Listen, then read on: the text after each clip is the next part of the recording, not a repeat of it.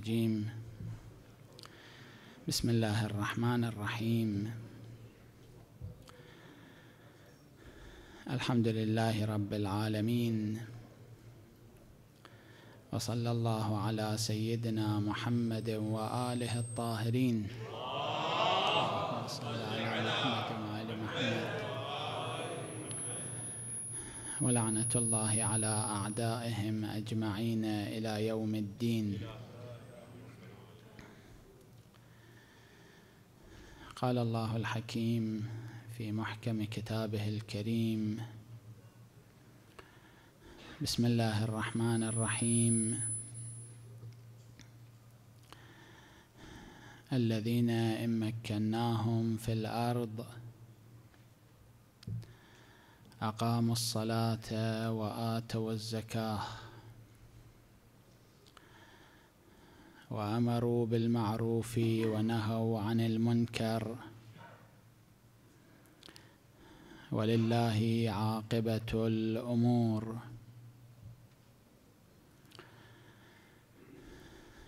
صدق الله العلي العظيم.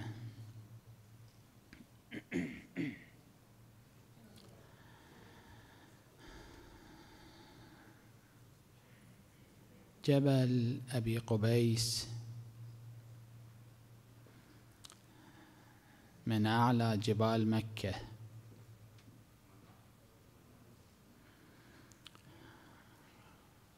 وجبل ثبير. هو أعلى جبال أطراف مكة.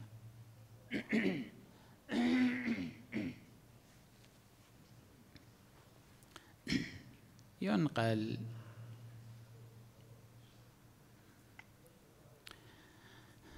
أن إبراهيم الخليل عليه وعلى النبي وآله الصلاة والسلام عندما أمر أن يبلغ وأن يدعو الناس إلى الحج صعد على جبل أبي قبيس. أو جبل ثبير. من هناك دا نادى ودعا الناس إلى الحج.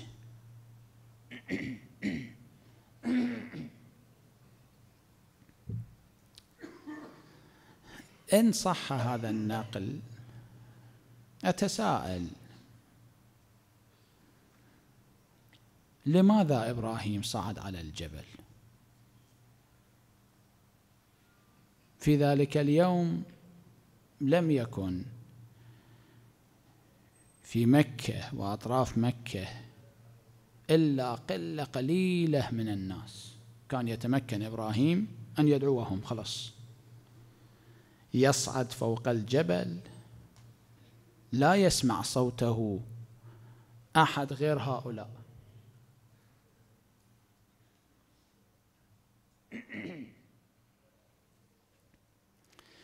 لعله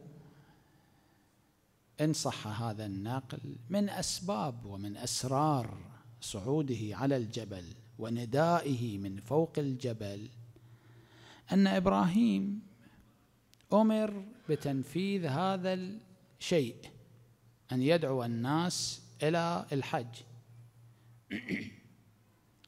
هو في ذلك الظرف في ذلك اليوم ما كان بإمكانه أن يصنع شيئا أفضل من هذا. من فوق الجبل الصوت يصل إلى مكان أبعد. هذا المكان الأبعد لا يوجد فيه أحد. هذا لا يرتبط بإبراهيم. إبراهيم يتمكن الآن أفضل ما يتمكن منه هو الصعود على الجبل والنداء من فوق الجبل. كم يصل صوته؟ هذا شأن لا يرتبط بإبراهيم. الله عز وجل يوصل صوت إبراهيم إلى أي مدى؟ هذا شيء مرتبط بالله سبحانه وتعالى. أدى واجبه بأفضل وجه بأفضل الأدوات التي كان يمتلكها آنذاك.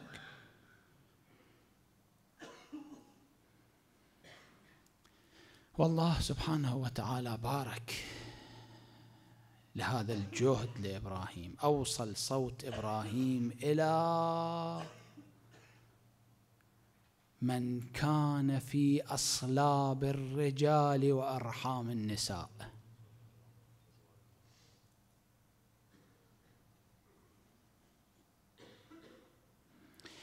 إحدى الأخطاء للأسف أقول الشائعة والكبيرة عند المؤمنين أنهم يفسرون التوكل على الله تفسيرا خاطئا. يفسرون البعض منهم. يفسرون التوكل على الله بترك أدائي للواجب. الدين الله عز وجل يحميه.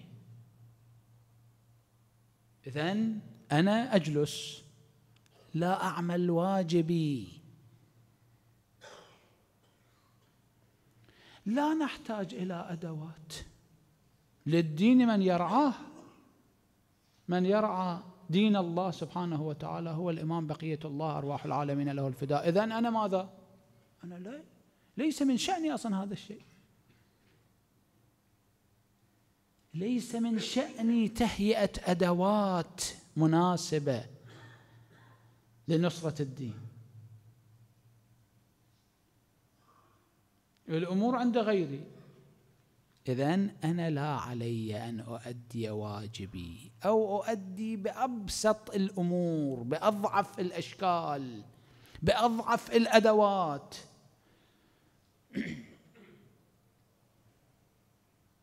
تفسير بعضنا للتوكل على الله هو هذا التفسير.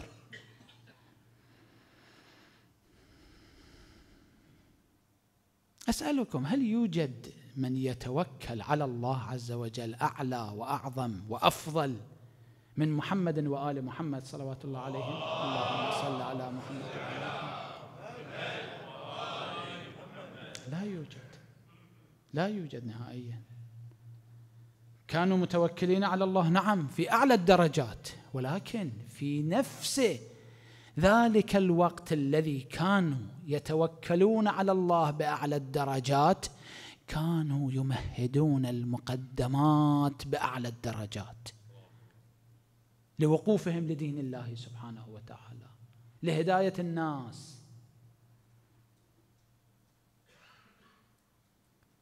حقا هناك قضايا عجيبة في تاريخ أهل البيت عليهم الصلاة والسلام. من تمهيد من تحصيل أدوات. مثال أبي الفاضل عليه السلام. مثال جدا عجيب. أبو الفاضل عليه السلام رباه أبوه وأخواه صلوات الله عليهم. كانوا يعلمون بكل وضوح دور أبي الفاضل. أبو الفاضل دوره ما كان دور قتال. الدور الأساسي في يوم عاشوراء لأبي الفاضل ما كان دور قتال. تذهب لتأتي بالماء. وهم كانوا يعلمون بأنه سوف لا يتمكن من إيصال الماء إلى نساء الحسين وأهل, وأهل بيته وأطفاله. إذا لماذا تدريب أبي الفضل على السيف؟ القضية قضية ماء وسوف لا يصل الماء. إذا لماذا تدريب أبي الفضل على هذا المستوى الراقي من العلم؟ كان من أعاظم فقهاء أبناء المعصومين عليهم الصلاة والسلام. لماذا تدريب أبي الفضل على تلك الشهامة؟ لماذا؟ لماذا؟ وأمير المؤمنين يعلم بكل وضوح لا أقول يعلم قد أخبر أصلا ببعض التفاصيل. يعني أخبروا الآخرين ليس فقط هم كانوا يعلمون. أنت لا عليك. أنت وفر حصل الأدوات. أبو الفاضل شخصية عظيمة سلام الله عليه. يلزم أن يكون راقيا جدا. من أي أداة من هذه الأدوات سيستفيد في يوم عاشوراء؟ هذا شيء يرتبط بالله سبحانه وتعالى ولكن عليه أن يحصل على أدوات عظيمة جدا.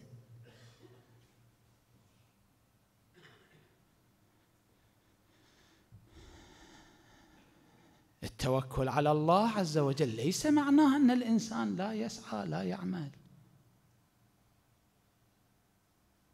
إذا كان هذا المعنى الذي يفسر التوكل بهذا المعنى بعض المؤمنين اذا لماذا الإنسان يجهد نفسه أصلا؟ الدين دين الله الله عز وجل ينصر دينه خلاص. أنا لا دور لي. أنا أصلي أصوم خلاص انتهى كل شيء. إذا أهل البيت عليهم الصلاة والسلام لماذا تحملوا هذه الصعوبات هذه البلايا هذه المصائب التي لا تتحملها الجبال على صلابتها؟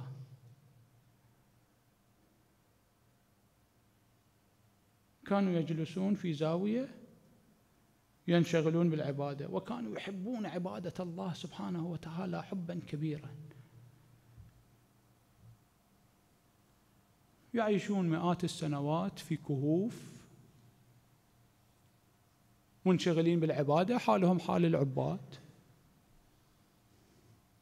هذا الألم هذه الصعوبات التي تحملوها في زمن حياتهم بعد استشهادهم. آلام جدا كبيرة. نحن لا نعرف ماذا جرى على أهل البيت ماذا حصل بالنسبة إلى قلوبهم. ولكن بعض الآثار مذكورة في الروايات الشريفة. تكشف عن مدى الألم.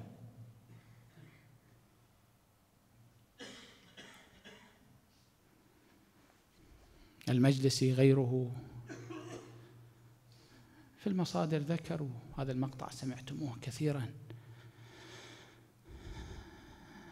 من الخطباء الكرام. الحديث يروى عن أمير المؤمنين صلوات الله عليه بعد استشهاد الصديقه الكبرى صلوات الله عليها. الإمام يقول فلما هممت أن أعقد الرداء من كفن فاطمة نادى الإمام بأولادها هلموا وتزودوا من أمكم. فهذا الفراق واللقاء في الجنة. يقول أمير المؤمنين صلوات الله عليه فأقبل الحسن والحسين. وهما يناديان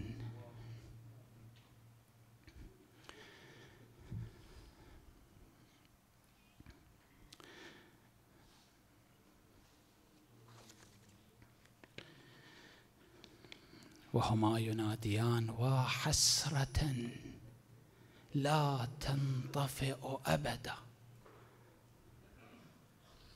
من فقد جدنا محمد المصطفى وأمنا فاطمة الزهراء. يا أم الحسن يا أم الحسين إذا لقيت جدنا محمدا المصطفى فاقرئيه منا السلام وقولي له إنا قد بقينا بعدك. يتيمين في دار الدنيا. يقول أمير المؤمنين إني أشهد الله أنها قد حنت وأنت ومدت يديها وضمتهما إلى صدرها مليا. وإذا بهاتف من السماء ينادي يا أبا الحسن ارفعهما عنها. فلقد أبكيا والله ملائكة السماوات.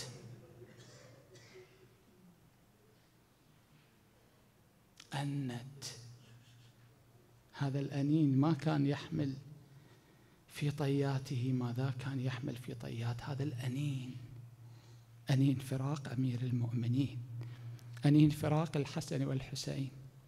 الإمام الحسن كان آنذاك في الثامنة من عمره. الإمام الحسين كان في السابعة من عمره. السيدة زينب كانت في الخامسة أو السادسة من عمرها السيدة أم كلثوم لعلها كانت في الثانية من عمرها أنين أنت.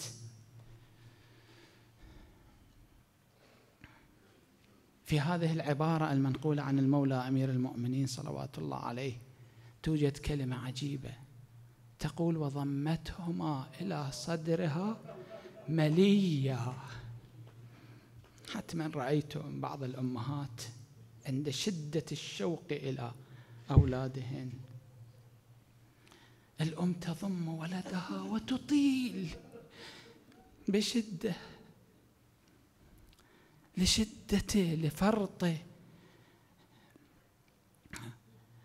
عواطفها تجاه هذا الولد. الصديقة الكبرى ضمت الحسن والحسين إلى صدرها وأطالت في ذلك. السيدة صلوات الله عليها بعدما حدث لها بين الحائط والباب من الآلام الشديدة على صدرها. ربما من ذلك اليوم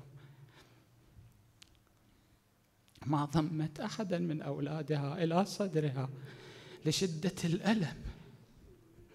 الآن اللحظة الأخيرة الساعة الأخيرة ضمت الحسنين إلى صدرها مليا طويلا. أنا لا أعلم ماذا قال الإمام الحسن لأمه ماذا قال الإمام الحسين لأمه. ولكن عبارة أمير المؤمنين عجيبة. العبارة التي نقلها أمير المؤمنين وتنقل عن المولى أمير المؤمنين أن ملائكة السماوات ما بكت لها بكت لهما. وإذا بهاتف من السماء ينادي يا أبا الحسن ارفعهما عنها فلقد والله أبكيا. ملائكة السماوات. لا أعلم الملائكة ماذا رأت في الحسن والحسين ماذا سمعت من الحسن والحسين الملائكة رأت أيتام بالملايين رأت مصائب ما بكت. الملائكة رأت أحزان كثيرة ما بكت. ولكن الأيتام في جانب ولكن آه آه من يتم الحسن والحسين. من قولهما من منظرهما.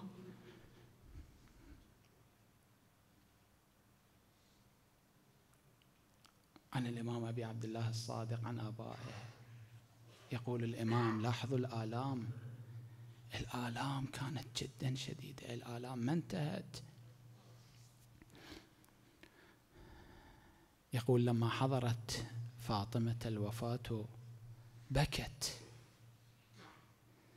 فقال لها أمير المؤمنين يا سيدتي ما يبكيك. هذا نص العبارة موجودة الرواية في البحار في العوالم في غيرهما فقالت فاطمة تبكي على ماذا؟ فقالت أبكي لما تلقاه بعدي.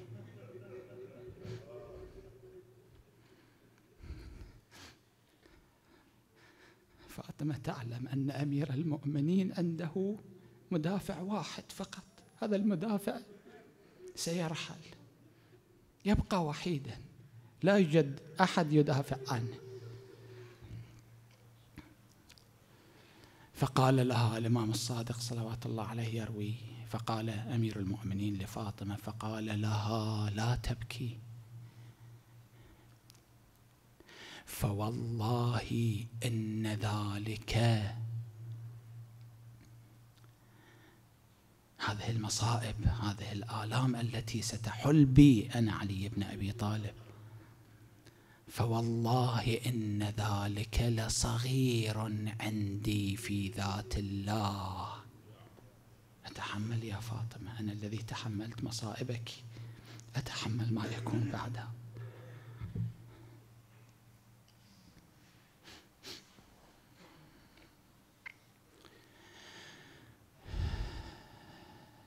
آه من مصائب فاطمة آه من مصائب أهل البيت. يقول الشاعر عن لسان حالها بين الحائط والباب. يقول يا بويا شوف هذا الرجس يعصرني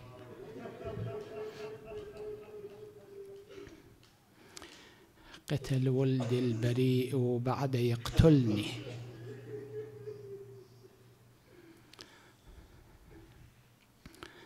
رمع قدام ولدي صار يلطمني.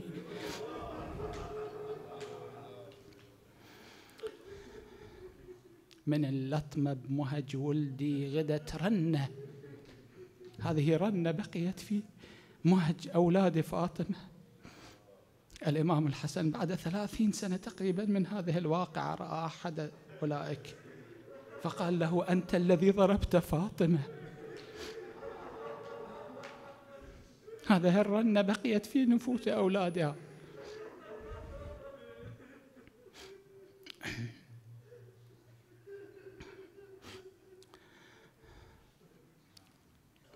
رنين اللطمة دوت بعد خمسين. بعد خمسين سنة هذه اللطمة أثرت جاءت بلطمات. لبناتها رنين اللطمة دوت بعد خمسين. على بنات اللطم من بعد الحسين. توالت حين حرقوا للصواوين. وأنت والصخر يتفطر الأنة. يا أبو صالح سيدي يا مولاي. يا أبو صالح بسيفك يهدأ الكون. ترى عيون البتول آلها يدورون عن الطلعة البهية متى يلقون؟ ولدها ينهض لفاد هي سكنة.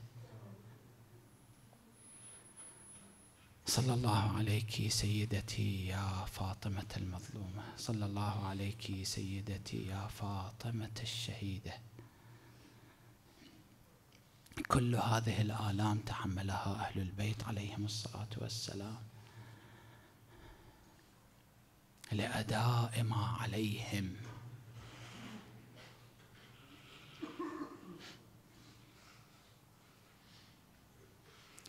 لتحصيل الأدوات والأدوات كانت متوفرة عندهم لاستخدام الأدوات لأداء ما عليهم.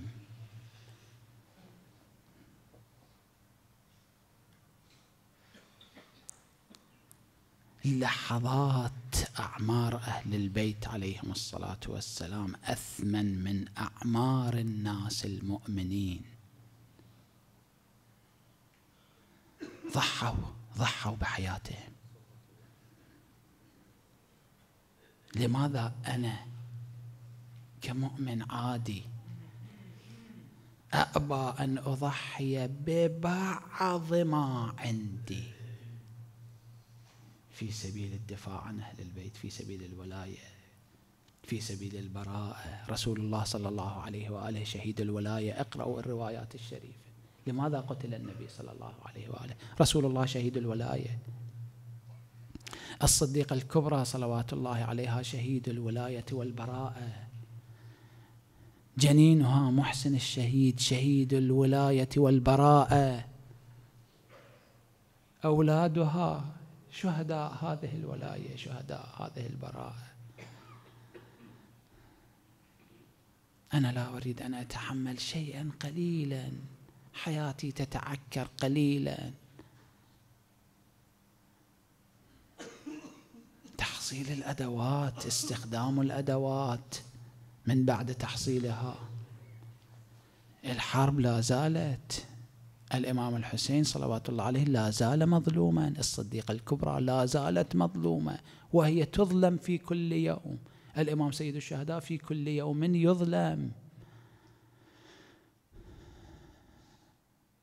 لا أقول فقط يظلم من أعدائه والنواصب حتى من بعد من يتسمى باسم الموالين. يظلم الإمام الحسين عليه الصلاة والسلام. في القضايا الأخرى يقف في قضية سيد الشهداء لا يقف. في القضايا الأخرى السياسية يتجاهر في قضية الصديقة الكبرى لا يتجاهر.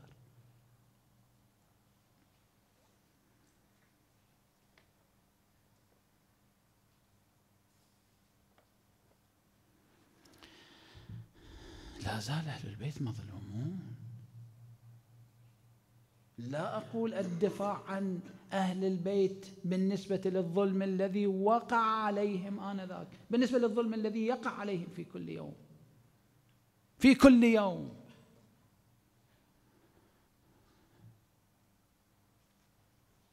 القضايا كلها عادية تصل إلى أهل البيت لا لا لا لا. لا تصنع هكذا. لا تقول.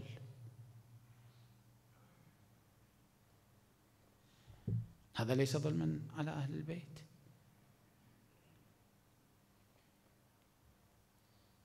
التعامل مع أهل البيت أقل مما يتعامل مع قضايا عادية.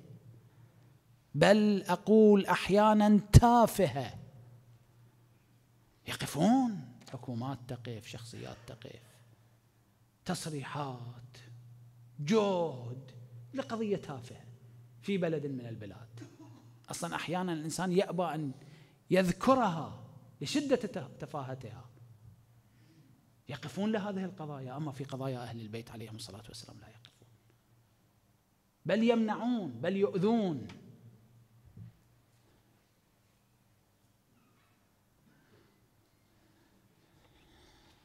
يعني لا زال الأمر يحتاج إلى وقوف وقوف رجال. حبيب بن مظاهر وقف. أبو ذر وقف.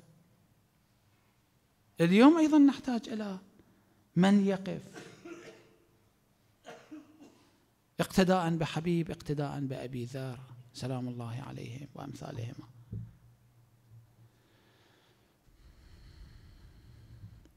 الوقوف يكلف نعم يكلف. ما كلف فاطمة حياتها ما كلف سيد الشهداء حياته حياته الدنيوية الظاهرية.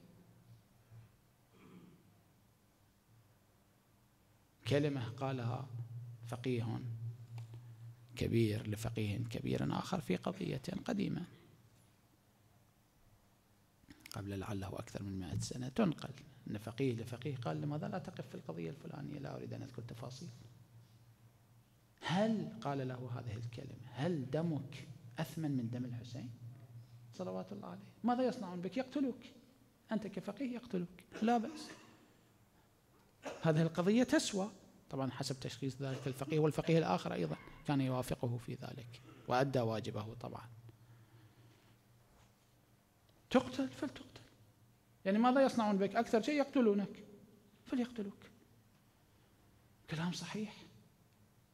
إذا بلغ الأمر إلى هذه الدرجة بالفعل دوري كان يقتضي هذا الشيء فليكن. ناهيك عن هذه الدرجة. بعضنا لا يريد أن يتعب نفسه أن يعطي شيئا من نفسه. الحرب ما انتهت.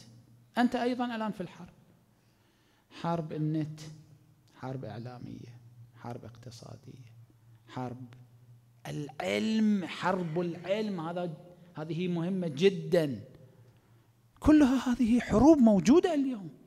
ضد أهل البيت عليهم الصلاة والسلام. أنا بدون أدوات لا أتمكن أن أحارب. بدون سيف أنت لا تتمكن أن تدخل في ساحة حرب. بدون علم لا تتمكن أن تدخل في ساحة حرب العلم. الحرب بالعلم بسلاح العلم. بدون إعلام لا تتمكن أن تدخل في ساحة حرب الإعلام والحرب بالإعلام. تحصيل أدوات.